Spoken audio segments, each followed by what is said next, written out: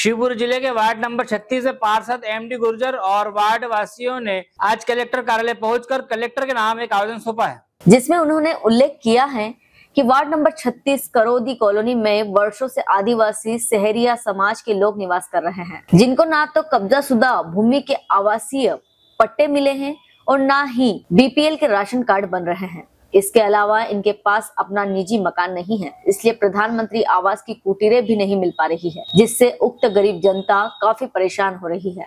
शिवपुरी से यूसुफ खान की रिपोर्ट। पढ़ने नहीं जा पा रहे। अशिक्षित हैं बच्चे पढ़ नहीं पा रहे हैं बेचारे। पूरे कम से कम ढाई सौ परिवार है मेरे वार्ड में। हाँ।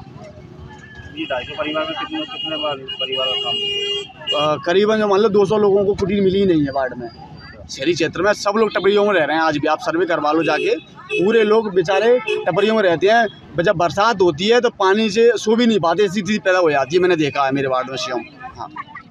मैं यही बात करना चाहता हूँ कलेक्टर महोदय के सामने के साथ मेरे जो बाढ़वासी हैं उनको कम न अ, आवास योजना का लाभ दिया जाए बीपीएल राशन कार्ड का लाभ दिया जाए जिससे ये लोग अपने परिवार के साथ भरण पोषण कर सकें और आवास में रह सकें। मेरा नाम एम डी गुर्जर है।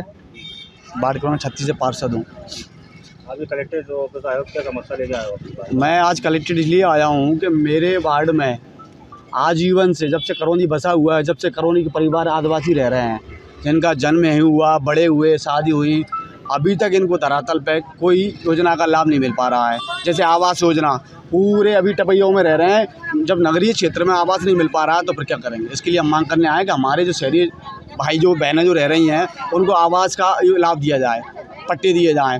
दूसरा, जो आज नई शादियाँ होके जो बहुएँ बाहर से आ रही हैं, नए बेटों की शादियाँ हो रही हैं, भाइयों की शादियाँ हो रही हैं, उनके लिए बीपीएल राशन कार्ड बनाए जाएँ। ये दो मांगे हैं।